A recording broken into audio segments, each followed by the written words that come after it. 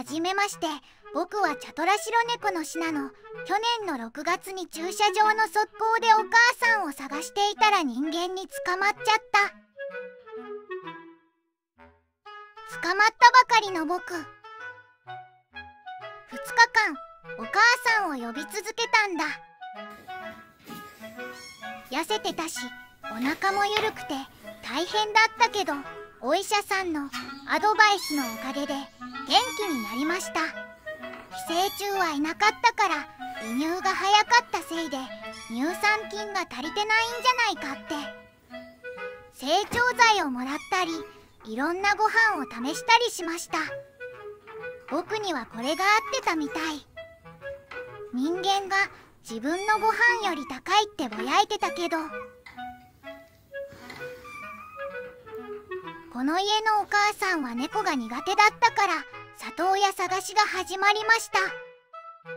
実は無理を言って置いてもらってたんだ。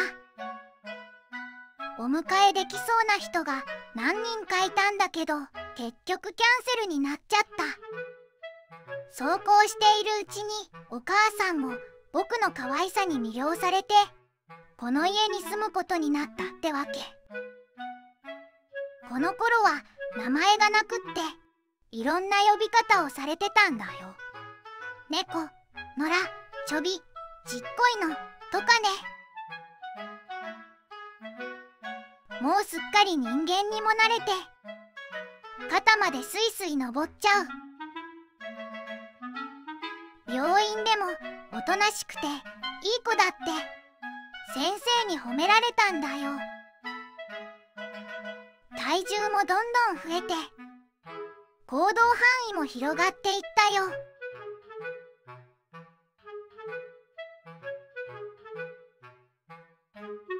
こっちは先住犬の大和おじいちゃん。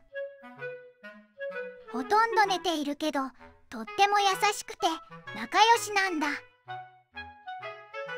最近の大和おじいちゃんはご飯は手伝いがいるしおむつを履いているけど食べようって気持ちと歩こうって気持ちはあって頑張っているよ。カリカリだけだと食べるのが大変だから蒸したお野菜と鶏肉を混ぜてもらってるんだ。僕も少しお肉を分けてもらっているよ。これから大和おじいちゃんの過去動画や僕の成長過程を投稿していきたいと思っています。投稿頻度は高くないですがよかったら見守ってくださいね。ご意見ご要望がございましたらコメントいただけると今後の参考になります。ご視聴ありがとうございました。